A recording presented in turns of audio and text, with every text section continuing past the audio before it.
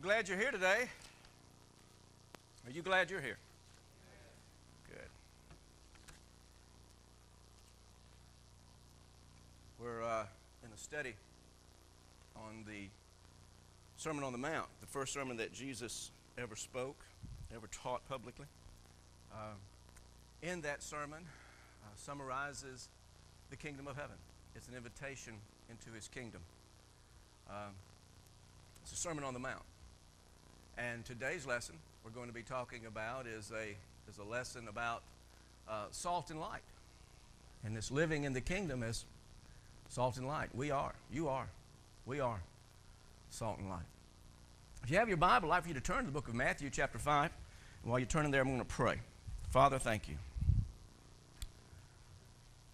Thank you for the opportunity to share your word. And Father, I pray today our goal, our task, is to project in a better way what you mean,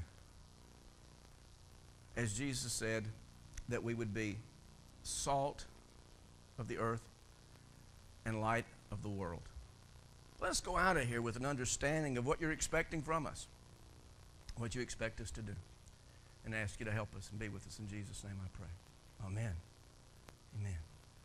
Well, all righty. It was always interesting to me as I began to see this that Moses began the law or the old covenant. God began it with giving Ten Commandments. Jesus began the new covenant, the Sermon on the Mount. He began it with eight Beatitudes.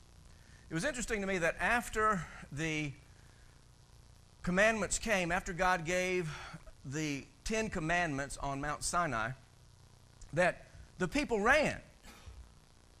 Uh, they did not want to be in the presence of God. They did not want to be uh, in, in, his, in his closeness. He did, they didn't want to be close to him.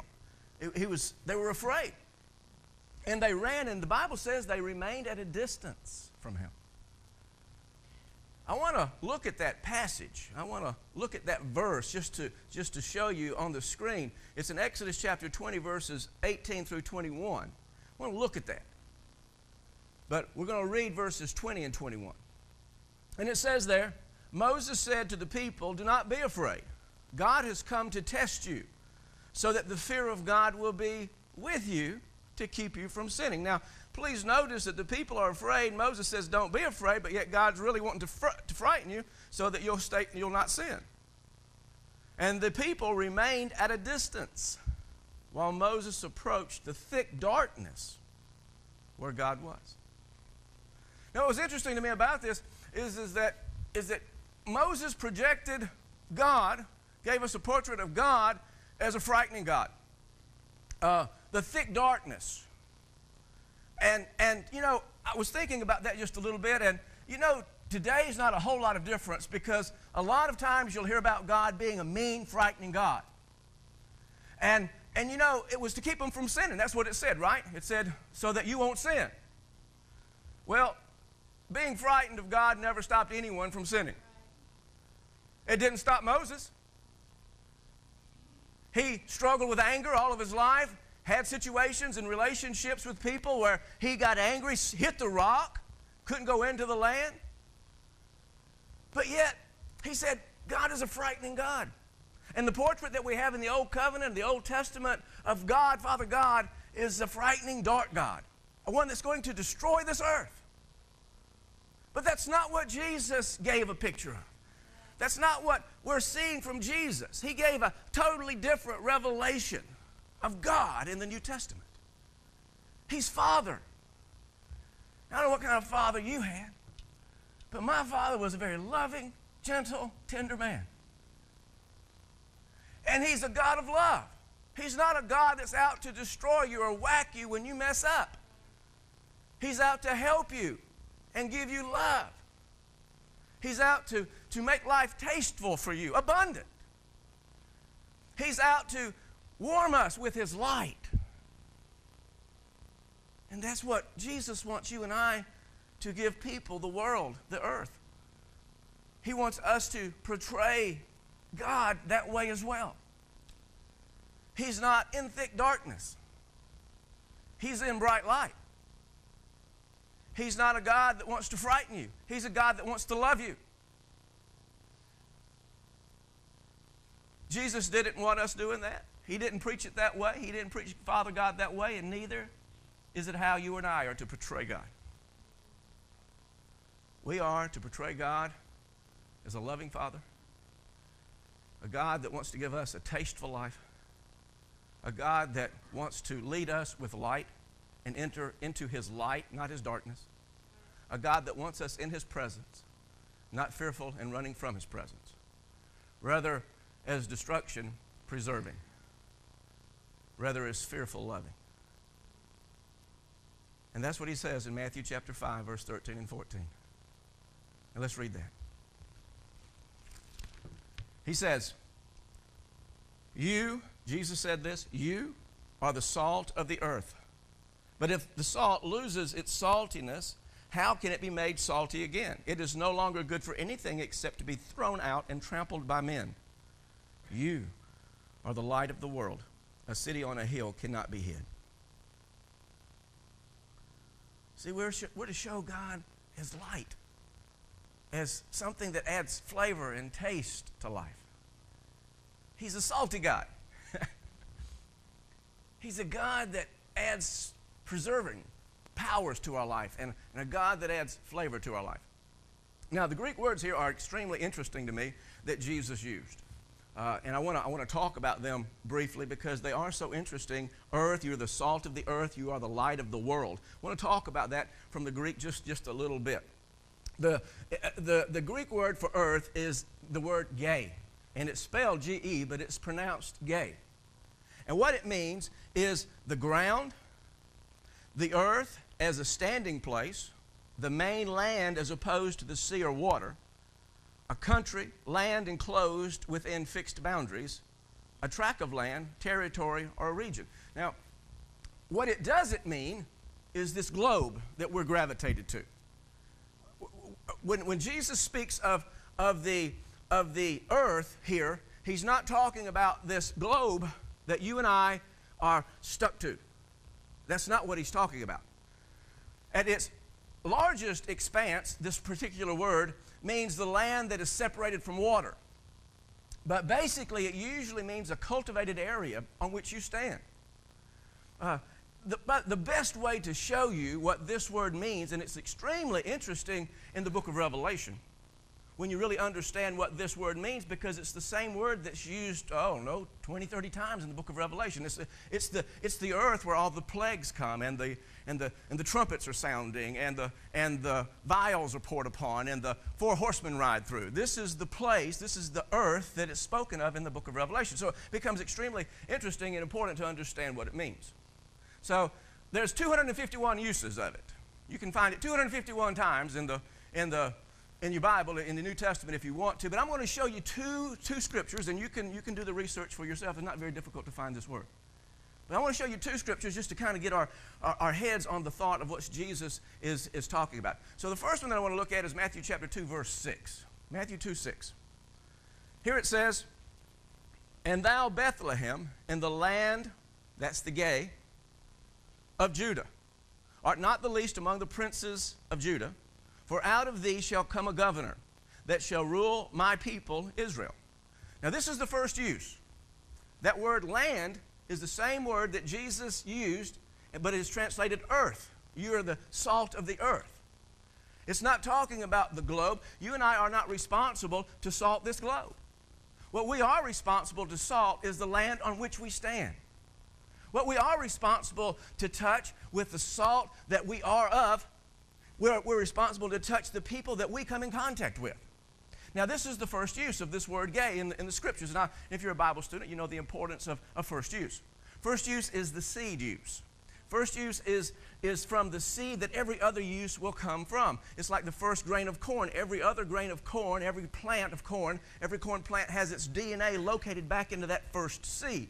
So, what we begin to see then is with this seed word of gay, it relates all the way back to this particular thought of this particular land out of Bethlehem, out of a city, would come the Savior, would come Jesus.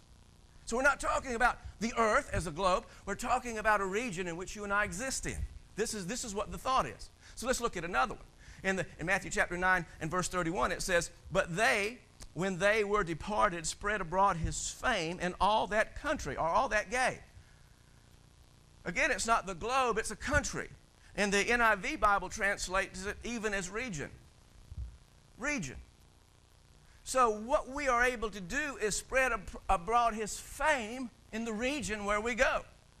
We are not responsible to salt this whole earth. You and I aren't, but we are responsible, and he does expect us to salt every place that we go. And I think that's extremely important. And I think that's in, it, it, it brings it down to a place where I can handle it. We are the salt of our regions. We are, we are the salt of the places that we go. We are the salt of our cities. We are the salt of this, what, where God has put us in this northwest Georgia corner. That's what we're responsible to salt. That's what we're responsible to flavor. That's what we are responsible to make thirsty. He said it like this Jesus said to his disciples, Go into Jerusalem, Judea, Samaria, and then to the uttermost parts. Take care of your place first. Take care of your area first. The truth of the fact is, is, is that we can never salt the earth until we first salt our region. We can never salt our region until we first salt our families. And to do that, we've got to have a salty church. The truth of the fact is, is that if we're not a salty church, we're not a church at all. What good is it if a salt just stays in its container? Well, get there in just a second. So let's talk about some uses of salt. Let's talk about some uses that when Jesus spoke this on that mountain that day, when people were coming to hear him and wanting the presence of God from what he said, let's talk about the uses of salt of that day. And I want to give you an illustration, but I, but I really want us to understand. There are three basic types of uses of salt. Three basic uses of salt that was used in that day, still used today the same way. But in that particular day, the one that was, was the most used, and I think the most referred to here by Jesus, was, was, a, was a type that I'm going to show you in just a second. But I think this speaks of three primary types of people that we meet. I think this is three primary ways that we salt people. The first one is to preserve. Now, they had no refrigeration in that day. But the first use of salt in that day was as a preservative. As it is today, it was then when an animal was butchered, if it was not cold, flies and insects and everything came immediately. And within a few hours, that meat was ruined. And it began to deteriorate and to rot. Even in the wintertime, if it were cold, it would still begin to deteriorate after a short period of time. And so, what they would do is take salt as a preservative and work it and rub it into the meat. Now, stay with me. I'm going to show you this thought because this is not sprinkling. This is this is salt. I have here a big old piece of meat. We have a butcher, there's an elder, and I got him to get this for us. Now, this is not sprinkling. This does no good if I want to preserve this meat. It might flavor it a little bit if I'm going to cook it, but if I want to preserve this meat, I have got to really put some salt on it. And I have got to begin to work that in. Now, some of you are too young to know this, but when I was a kid growing up, we used to butcher hogs. We would get a cold day and we would butcher hogs, and then we would take the meat after we had salted it and we would put it in boxes of salt. We would actually submerge it in salt after it had been rubbed down. But this entire piece of meat is rubbed all over, every crack, every place that you can get salt into is salted. And if you don't, it will ruin. So it's, it's, it's a lot of salt. And it's totally put on this piece of meat. I'm going to need some tissues, and I did not get that. All right. Good. But now I want you to see this is a vigorous rubbing. This is, this is a little bit laborious. It's not a sprinkle. This is serious rubbing. You got to work at it a little bit. And it becomes salted. Now, what fly in the world would want to land on this thing? You know? And it's going to last for a long, long time.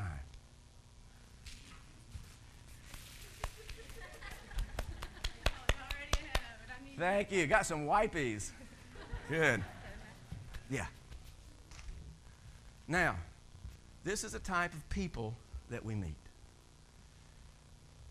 It's the kind of a person that we're allowed to rub into. We're al- allowed to touch their lives in a very vigorous way on a regular basis. Jesus touched his disciples this way. He didn't touch everyone this way, but he was able to touch his disciples.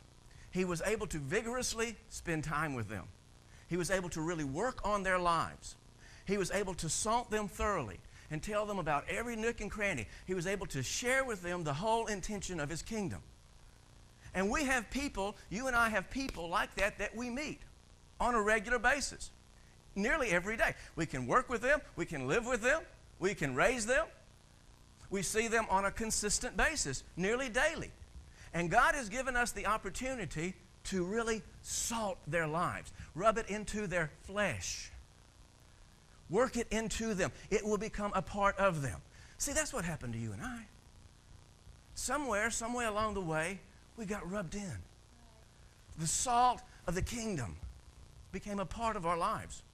And what we have opportunity to do with some people, not every person, but with some people, we have the opportunity to spend a lot of time with them, to vigorously work into their flesh, our lives, into their lives. We have become a part of them, just as that salt is now a part of that piece of meat. And we've, and we've been able to do that with these people. Now, you can't do that with everybody. But Jesus did this with his disciples. He worked himself into those disciples' souls, into their lives, into their thought processes. That's what makes us salty. That's what makes you and me salty. That's what make, made them salty. Now, what, what is it that, I want, to, I want to work on this just a little bit. What is it that makes us salty? Now, what I'm trying to say here is let me get, ask you some questions and you'll understand better what I'm trying to say. Are we salty because I prayed a sinner's prayer? Does that make me salty? Does it make me salty because I come to church on Sundays? Does that make me salty? What about if I, if I pay my tithes? Now, I know that's going to make me salty, right? You know, I know people that do all of those. A lot of people do. But they never influence anyone's life. In fact, they're obnoxious, repulsive, and I don't want them rubbing on me. I don't want them rubbing on my family. I don't want them rubbing on my kids. I don't want anything about their life intruding into mine. Now, they prayed a prayer. They may give to the kingdom. They may go to church every Sunday. But I don't want them influencing my life. And actually, I don't want them influencing yours. Because what they have is not the salt of the kingdom. So, what is it then that makes us salty? What is it? Is it Jesus? Is it Jesus? Well, kind of. But I know a lot of people that say they know Jesus and that Jesus is in their life, but again, I don't want them in my life. I don't want them rubbing in me what they have. So, what is it? What is it that really makes us salt of the earth? What is it? Can I answer you? Can I tell you? You ready? Attitudes. All that Jesus has talked about so far is attitudes. If those eight attitudes are in our life, not the Ten Commandments, but the eight attitudes, if they are in our life, and we've spent a lot of time talking about these eight attitudes, and the reason is, is because the eight attitudes, blessed attitudes, beautiful attitudes, are to the New Covenant, to the New Testament, what the Ten Commandments were to the Old. And I want us to get that so desperately. Because if you don't have the right attitudes, nobody wants you around, much less messing with their life. But if you have these things working in you, you have these eight beautiful attitudes coming out of your life, blessed are the poor in spirit, you got a right spirit, you're not full of yourself, you're going to be full of Him, people will start liking you.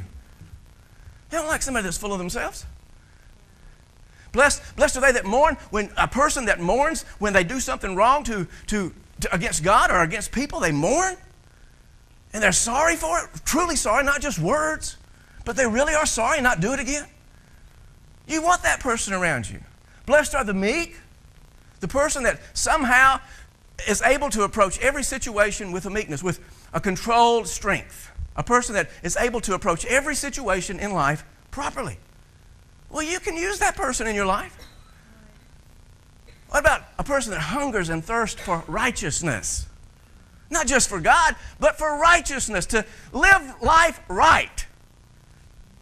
They want to do things right. They don't want to mess with people. They don't want to talk about people. They don't want to slander people. They don't want to do things wrong. They want to do things right. You want somebody like that around you. What about, what about a, a person who keeps their heart pure? You know, blessed are the pure in heart.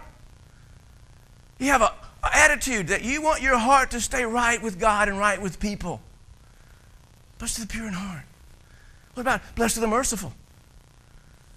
You want person, don't you like people around you that have mercy on you when you goof up?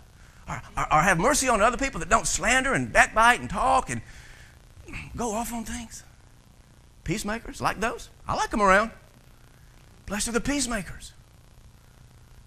I like people that when they get persecuted, when they get talked about for the sake of their, of their faith in Jesus Christ, that it does not stop them. It actually encourages them. Blessed are those persecuted. See, with these attitudes functioning in our life, we're irresistible. People want you against them. People want you in their homes. They want you talking to their kids. They want you ministering to them. You're not repulsive, you're desirous. And that's what we're supposed to project God as. Not as a mean, hating, hating, mean God who's ready to whack us if we mess up, but a loving Father with right attitudes. That's what makes us salty. people enjoy that. We rub people the wrong way, or we rub people the right way with our attitudes. Am I right? Is this correct? Is this good preaching? You see, if you ever, if you ever, you know, you rubbing me the wrong way, well, you know what's happened? Is you don't like their attitude. But when you get along with somebody and you want to be around somebody, you like their attitude. And you want to be around them and you want them influencing in your life. So, who are you rubbing salt on? Who are you vigorously working the salt of Jesus into their life? The salt that you are. He didn't say he's the salt, he said you're the salt. Who are you working your life into? Who are you around that much? It should be people that you see regularly at work or at home or wherever that you go on a consistent basis. But you should be rubbing the attitudes of Christ into their lives and blessing them. Now, one more thought on this preser- preservation thought before I move on to the second use of salt. But, but, this, but, this, but this particular thought is about the preserving, so I need to fit it in right here. Uh, you see, Jesus said the salt is to preserve the earth. You, you are the salt of the earth. But contrary to that, there is a, a lot of doctrinal teaching that says that God is going to destroy the earth. Now, I have a problem. The problem I have is this is that I'm going to give my life to preserve something that he's going to destroy? Does that add up to you? Blessed are the meek, for they shall inherit the earth. You're the salt, you're the preserving force of this earth. And, folks, let me tell you, Jesus never taught that. Jesus never taught about destroying the earth. He's all about preserving it. He talks about a God, a Father, that wants to preserve your life and my life, your soul, my soul, your spirit, my spirit. He wants this thing preserved. In fact, he says, occupy until I come. Let's move from that direction. We can't miss it then, right? So let's look at the second use of salt in the scriptures, or the salt in the time that Jesus uh, was, uh, was, was sharing this and, and teaching this. The second use of salt is, is a condiment, is a spice. Uh, adds flavor. It adds flavor. Um, you can put salt on anything, and it will enhance the flavors, whether it's a vegetable, even bread. You put a dash of salt in bread, and it brings out flavors that you can't taste. It removes the blandness. You can overdo it. But for the most part, the right amount of sprinkled salt on anything adds a flavor. You see, Christianity should bring a flavor to the earth. Should bring a flavor to your gay, a flavor to your earth. You should add a flavor that's not there if you're not. You should show the joy of the Lord, the, the goodness of God. You should add a flavor that's not there when you're not there. You should be missed. I, when I eat something and it's not salted, I miss that salt. Do you? It becomes bland. See, my li- a lot of people think that Christianity is this bland thing, a life of commandments. No, it's not a life of commandments, it's a life of attitudes. Uh, this, this flat, bland thing that thou shalt. No, it's not it at all. Man, Jesus loved to party. Did he? Come on. It, he was not bland. He was not flat. He was a flavorful guy. And people loved to be around him because he sprinkled salt on people. Not literally. You understand what I'm talking about. But every place he go, he would sprinkle. He would sprinkle people. Sprinkle salt. Um, you know, how many of you seen Christians like, you know, look down their noses, as it were, at sinners or even sometimes at other Christians? You know, they're better than. It's the holier than thou thing. You know, I'm going to heaven and you're going to hell, ha ha, kind of thing. See, that's not New Testament you should add a flavor that they want. You should have something that they don't. And we should be sprinkling people every place we go. Every place we go. I sprinkle salt. I'll just leave a trail of salt everywhere I go. I, I, you know, if, if I go to the bank, I'm sprinkling salt. I'm smiling. I'm giving an encouraging word. Most people around here know who I am. We go to a restaurant. They watch to see if we pray before we eat. They, you know, I'm sprinkling salt. How I respond to my grandkids, do my grandkids mind in a restaurant? Do, uh, you know, how do I respond to my wife, to people? I'm sprinkling salt. I go to a hardware store or, or to a convenience store, I sprinkle salt. I smile, give an encouraging word, and if at all possible, I give an invitation to come. Uh, this happened to me Friday, actually. Uh, I do it all the time, but this particular thing just comes to my mind. I was, uh, we had made the cards that uh, Steve was telling you about just a minute ago, the invitation cards for Christmas.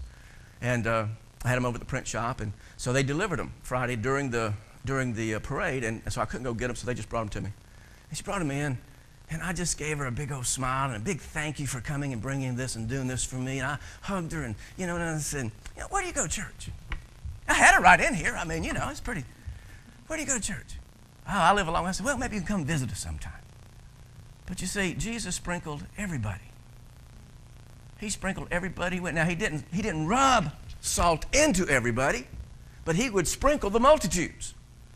He would he would make God tasteful to every person. No matter who he met or where they were, he would make God tasteful, not bland. God of love and light, not a God of darkness and fear. So let's look at the third use. So who are you sprinkling on? Should be everybody. Right? So the third use. The third use is we make people thirsty. Salt makes us thirsty. Thirsty. Uh, you know, I get around people that I make thirsty. Now, most of the time, these are believers. Most of the time, the people that I make thirsty for God are already believers of God. Uh, not always, but usually uh, you know, they're, they're, they're, they're looking for something more. They're wanting something more. They're thirsty for something. They just don't know exactly what it is. Uh, uh, and, and, and, and I make preachers thirsty. And preachers make me thirsty. You know, I, was, I spent the, the other afternoon with, with Scott Webster. Most of many of you know him. He's a, he's a prophetic ministry. And I spent lunch with him. And he was making me thirsty, and I was making him thirsty. You know, you, and you leave out of there thirsting for more of God. And Jesus did this. Jesus made people thirsty. You know, Nicodemus, now his doctrine was all a mess, but he made Nicodemus thirsty for God. How about the woman at the well? Remember the woman at the well? He made her thirsty. She, was, she believed in God, she worshiped him on some mountain. Doctrine all messed up, but he offered her living water. See, we can offer them not only salt to make them thirsty, but like Jesus, give them living water to quench that thirst.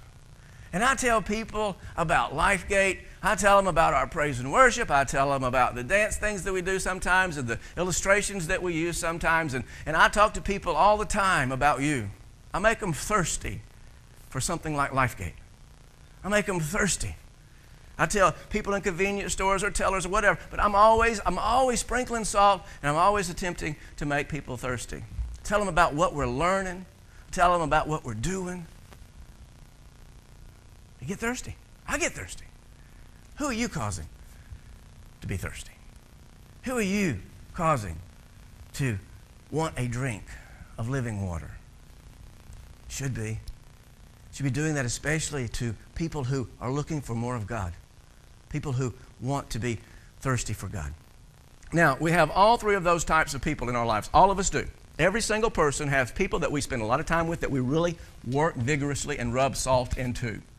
We all have people that we can sprinkle on. We all have people that we can just go around and add a little flavor, give them a smile, give them an encouraging word, but just make their life good for them, make it tasteful. Make them, make them enjoy you being there with them. And then we all have people that we should be making thirsty. How we doing? How's your earth? How's your ge? How's the land you stand on? Is it salty? Should be. In fact, it must be. How salty are we? Let's look at uh, 513 one more time. You are the salt of the earth. But if salt loses its saltiness, how can it be made salty again? It is no longer good for anything except to be thrown out and trampled by men. See, if salt remains in its container, what good is it? We're all salty, and salt really never does lose its ability to salt unless it doesn't get out of the container. The salt in that box does that meat no good. The salt in the shaker does your food no good. Staying in the container, we make no one thirsty. Well, we might make each other a little thirsty. But Jesus says if that's all you're doing, you're really good for nothing. Hmm. Can a person, can a church lose their saltiness? Yes, in that we never get out of our container. See, salt really doesn't lose its saltiness. But a church that is not salty, hear me, is good for nothing. Ouch. As I saw that, as I began to, to look at that, I said, oh my. Oh my. And over the years, we've had a tendency to stay in our container. We're starting to sprinkle some now. We're starting to rub some now. And things are changing. But isn't that what Jesus is saying? If you're just going to lose your saltiness, if you're not going to be, you're good for nothing except to be walked, thrown out on the streets, and at least maybe you'll stop some weeds from growing. You're really not doing for his kingdom what he what He desires and, and, and thinks that we should do. Now, just to make us, make uh, us aware that our saltiness determines our destiny, our church, the destiny of LifeGate is determined by our saltiness. Uh, what happened to those great churches that we read about in here? What happened to the churches like at Ephesus or at uh, Corinth or Thessalonica? What happened to those great churches? What happened to the seven great churches that are mentioned in the book of Revelation, that the book of Revelation was actually written to? What happened to those churches?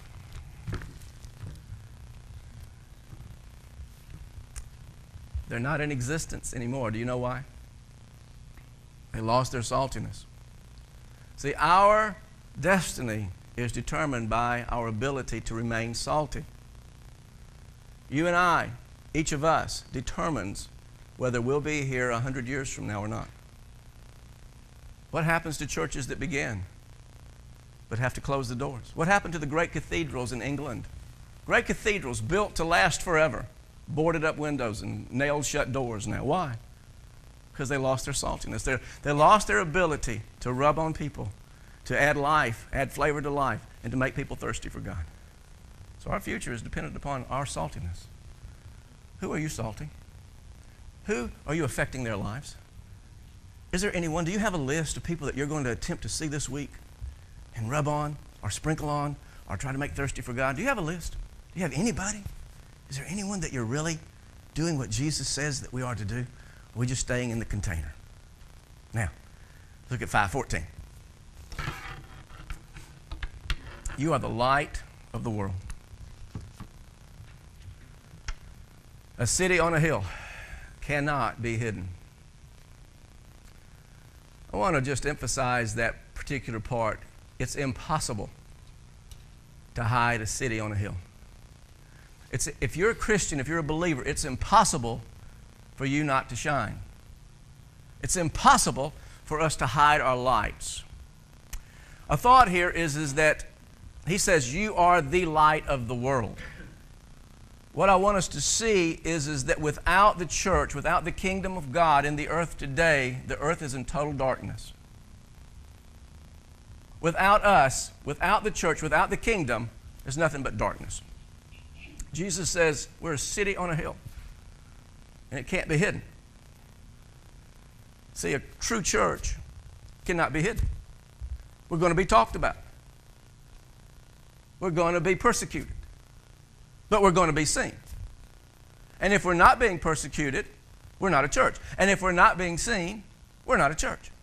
We're just playing some sort of a game. We've got to be salty. Now, those listening to Jesus on the hillside that day did not think of lights as electrical. They, they did not associate electricity as do we with lights. Their image is a flame. Their image of light is a torch. On the day of Pentecost, and that's why I had them do this dance this morning, on the day of Pentecost, a ball of fire came into that house. And that, the Bible says that that ball of fire divided or separated. And cloven tongues, like as fire, came and set upon each person. Came and set upon every person in that house. Everyone present there. They didn't run from it, they were sitting there waiting on it. They desired it. And they became flames of light.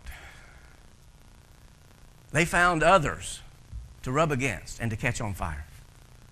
And they were not hidden. And eventually that flame went through the whole earth. Eventually that flame came and set upon you and set upon me. And now it's up to us to pass that flame on.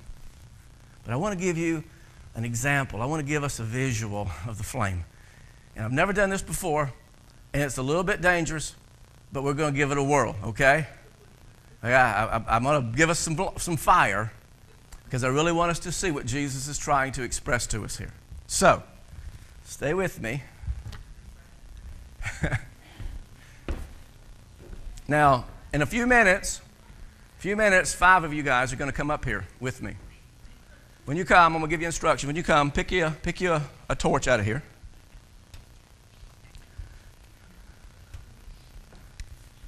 And I want the lights out. I want total darkness in here.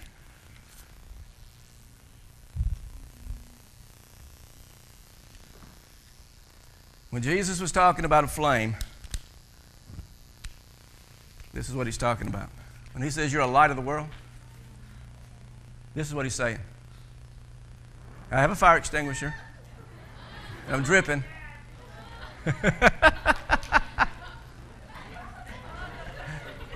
so bring me, uh, bring me uh, that bucket over here. Bring me that water thing.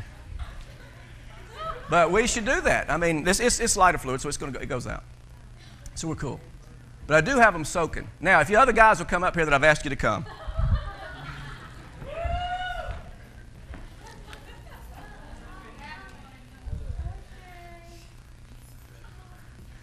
And what we are to do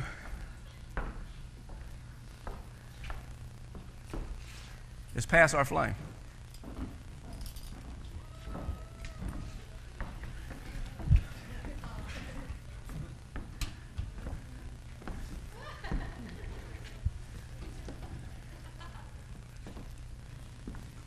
Doug, pass your flame to Willis.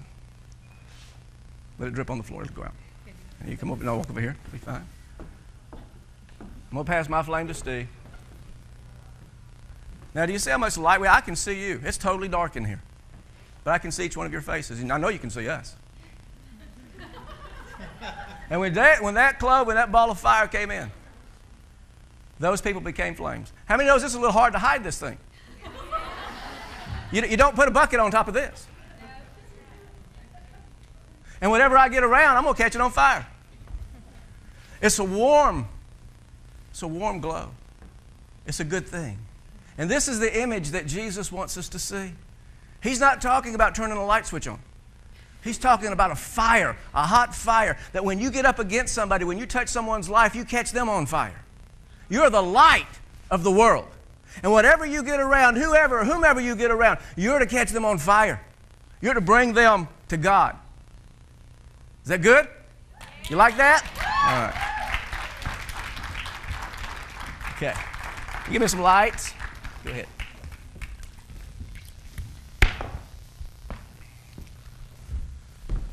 Now, while they're putting all that out, don't get close to this one. uh, no, don't drop anything in that bucket.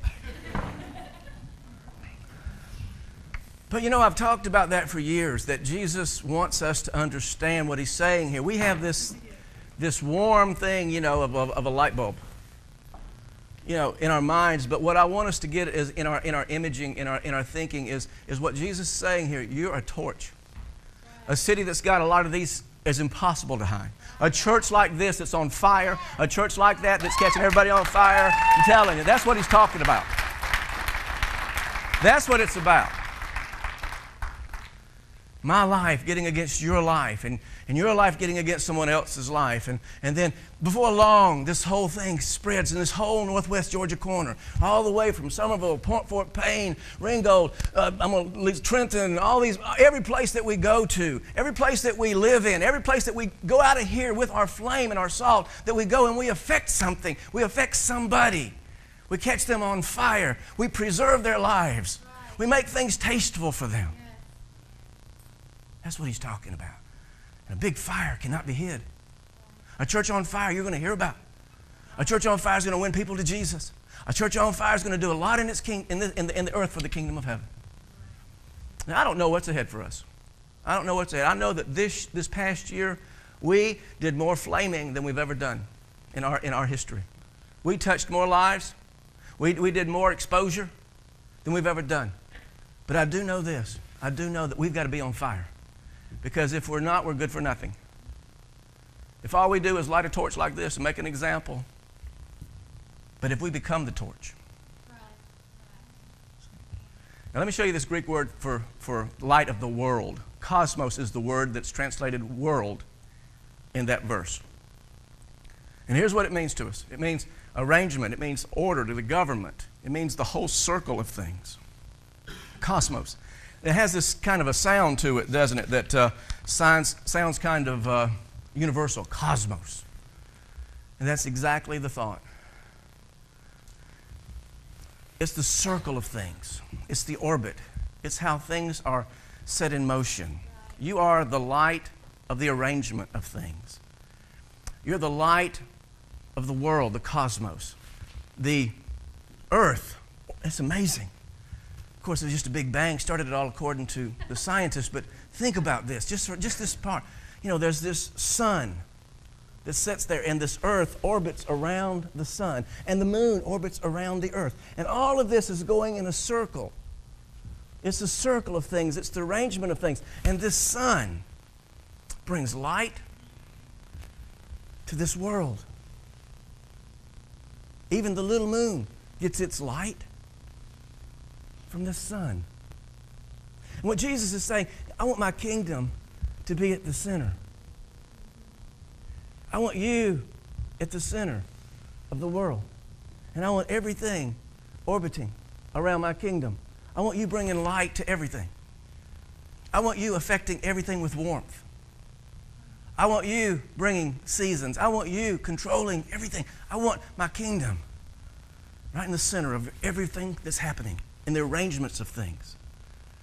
You know, I was thinking about this laying in the bed, this, this, this thing, how God has put this in motion in this whole orbit of things. You know, a lot of people blame God for what's happening to them. No, it's just the way it's set in motion. Everything's on its own, it circles around. It has to. Uh, be not deceived, God's not mocked, for whatever a man sows, it's going to circle back around. You sow to the flesh, corruption, then that's what you reap back. You sow to the spirit, good stuff, then that's what you reap back because it's what it circles around. Uh, do not judge for the same measure that you judge others, it's going to be coming back around again. And, and, and this is how it works. And what God wants is a people, a son in the center, a kingdom in the center of everything, so that He can show people how life works. To give light, to give warmth, to give instructions. That's what He says. You're the light of the world, you're the light of the cosmos, you're the light of my arrangement. Everything that I've arranged, I've arranged around you. You're to give warmth and light and understanding. Light in the scripture speaks of understanding. We should have a light. The Word of God is a light unto my feet and a lamp unto my path because it tells me how I live, tells me how to walk through life. He says, That's what I want you to be. I want you to be the light of the world.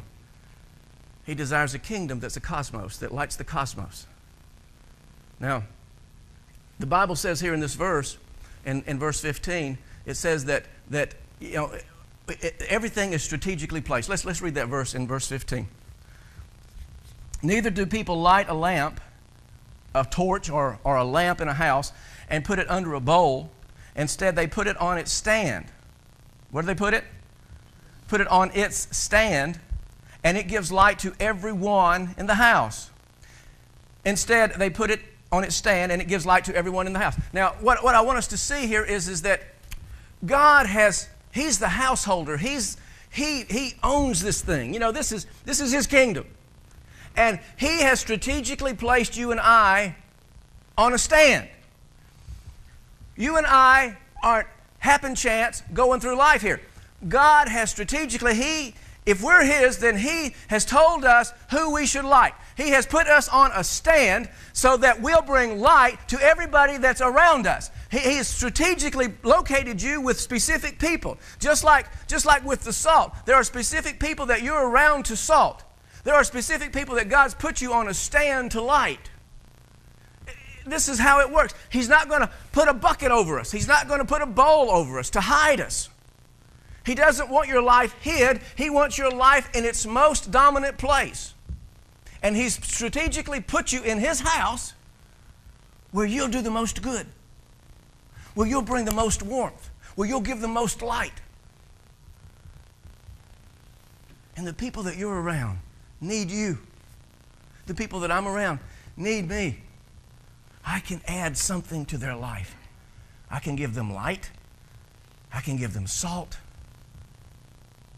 But if I don't get out of my container, and if I keep a bowl over my light, I am no good. What good are you? He's not put this church under a bucket. We are not going to live under a bucket. We're not hiding. We're not ashamed of the gospel of Jesus Christ. We're not ashamed of the word that He's given us to preach of His kingdom. We're going to shine as never before, like a flame on fire, every place we go. And this year, you're going to meet people. This coming year, from now on, you're going to meet people that you're going to catch on fire. Look at verse 16, because this is exactly what he says in verse 16, what I just said to you. In the same way, what, in the same way of what? Putting it on its stand. In the same way, let your light shine before men, that they may see your good deeds and praise your Father in heaven. In the same way, God has strategically placed you on a stand. Now, according to that verse, how do we shine? According to what Jesus said, how does my light shine? You got your Bible right there. I want you to tell me what that verse says. What does that verse say? How do people see my light? By your good deeds. See, people are watching you. Jesus said, People see you by your deeds, by your good deeds. Not by what you say, but by what you do. Not by what we say we are, but by the attitudes that we operate our lives by. People notice how we live. They take notice of it. They take note of it. They see how we pay our bills. They see how we raise our children, how we respond to our spouses. They watch our lives. They see what we do for others or what we won't do for others. Now, people do this whether you are a Christian or not. It doesn't matter whether you're a Christian or not. People always see how other people live. You don't have to be a Christian just to be taken notice of. So, what Jesus is saying here, why don't you use that? Use that as a light. Shine it out there. Let people see how you live. Let people see how I've blessed you. Let people see how you respond to your, to your, to your families, how you, how you do your life. Let people see that because that's how you'll bring praise to our Father in heaven. See, we're going to be, bring praise to one or the other. We're going to bring praise to our Father in heaven, or we're going to bring praise to the devil. It's according on what our light shines. So, we are the salt of the earth, are we? Are we? Are we going to preserve the earth? Are we going to preserve somebody? Do we add flavor to life? Is your life flavorful? Mine is. We make people thirsty for God. Do you? Is there anyone right now that you're really wanting to make thirsty for God? We're the light of the world. We bring light into darkness. That one flame lit this whole room up. We bring light into darkness where we work, where we live, whatever we do. We give direction. We're the light of the world and the salt of the earth. And we're strategically located. Each one of us are around the very people God wants us to influence, either to light their lives or to rub salt into them. You are the light of the world. You are the salt of the earth. Let's pray. Father, help us become so on fire for you that when we walk into a room, it begins to warm, it begins to have light. Let our lives get out of a container. Let our lives rub against others to preserve them. Let us add flavor.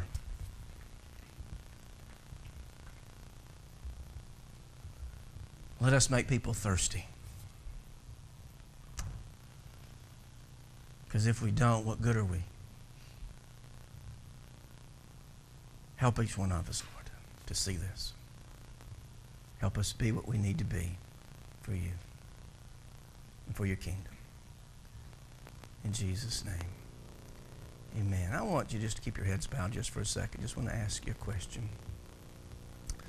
We're about to the end of this year. And the new year's coming. And a lot of times we make resolutions, New Year's resolutions. You know, we're going to lose weight or we're going to do something.